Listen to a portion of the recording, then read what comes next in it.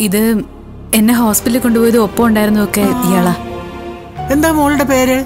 ശ്രീകുട്ടി. ഓ നല്ല പേര്. ഇവിടുത്തെ രാജീവൻ സാറിന് ഒരു അപ്പച്ചുണ്ട് ആ അപ്പച്ചയുടെ മോളുടെ പേരും ശ്രീകുട്ടി എന്നാ.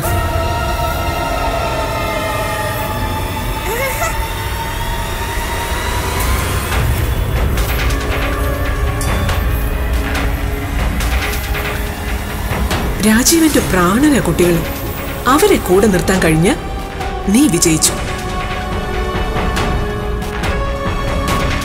എന്നാലും എന്റെ ഭഗവാൻ ഇതെന്തൊരു ഓ, എന്താ ഇവിടെ തന്നെ നിന്നത്? ഞാൻ നിങ്ങളുടെ അമ്മയുടെ ഫ്രണ്ടാ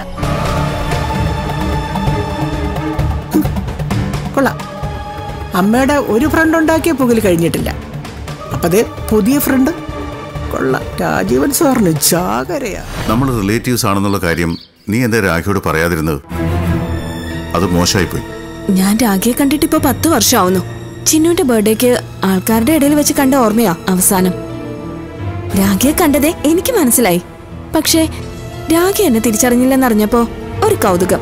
അതുകൊണ്ടാ ഞാൻ ആരാന്നുള്ളത് മറച്ചു വെച്ചത്.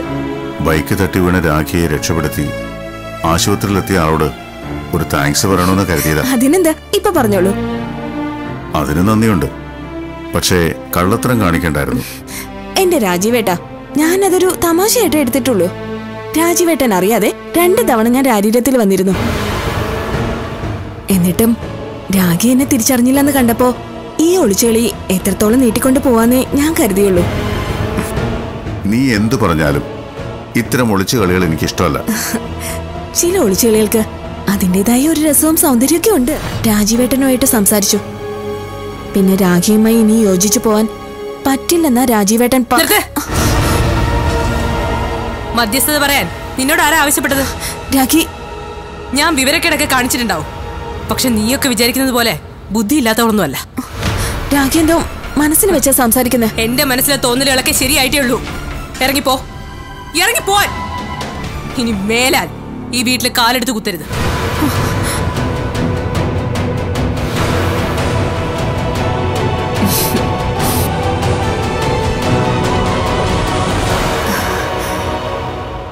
രാഖിയുടെ വീട്ടിലേക്ക്. ഞാൻ ഇനി വരില്ല. എന്റെ രാജീവേട്ടന്റെ വീട്ടിലേക്ക് വരും.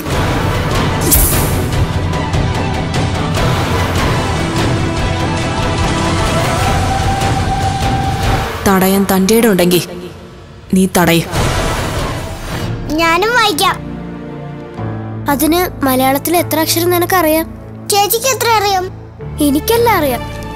ഷാരേന്റെ നമ്മുടെ കൂടെ ഉണ്ടായിരുന്നപ്പോ പഠിപ്പിച്ചയാ. എന്നെ കൊണ്ട് നിർബന്ധിച്ച് എല്ലാ ദിവസവും പത്രം വായിക്കാൻ പഠിപ്പിച്ചതും ഇപ്പൊ എവിടെ ചേച്ചി? എനിക്കറിയില്ല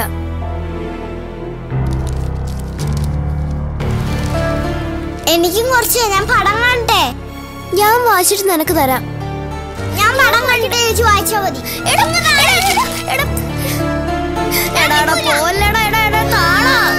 തന്നിട്ട് പോടാ പ്ലീസ് അത് കേരള കേരള പ്ലീസ് അയ്യോ. ഈ പേപ്പറൊക്കെ കീറി നശിപ്പിച്ചോ? നിനക്കൊക്കെ ഒന്ന് അടങ്ങിയിരുന്ന എന്താ? വേണ്ടേ കുസൃതി കാണിക്കുന്നതിനൊക്കെ ഒരു പരിധിയുണ്ട്. ഇനി മേലെ ഈ പത്രം തൊട്ടു പോകരുത്. സ്വന്തം വീട്ടിൽ കാണിക്കുന്ന കുസൃതി തരങ്ങൾ ഇവിടെയും കാണിക്കാൻ തുടങ്ങിയോ? നല്ല അടിവച്ചേരും ഞാൻ.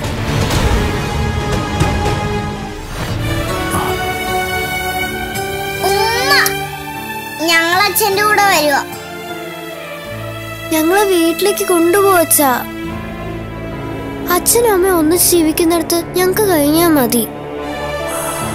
അച്ഛനിപ്പോ നിങ്ങളെ കൊണ്ടുപോയ അമ്മയ്ക്ക് വിഷമോ? അമ്മയെ വേദനിപ്പിക്കരുത്. നിങ്ങൾ ഒന്ന് രണ്ട് ദിവസം കൂടി ഇവിടെ നിൽക്കേ അമ്മ തന്നെ നിങ്ങളെ കൂട്ടിക്കൊണ്ടുവരും. നിങ്ങളെ കാണാതിരിക്കാൻ പറ്റാത്തോണ്ടാ അച്ഛൻ ഓടി വന്നേ.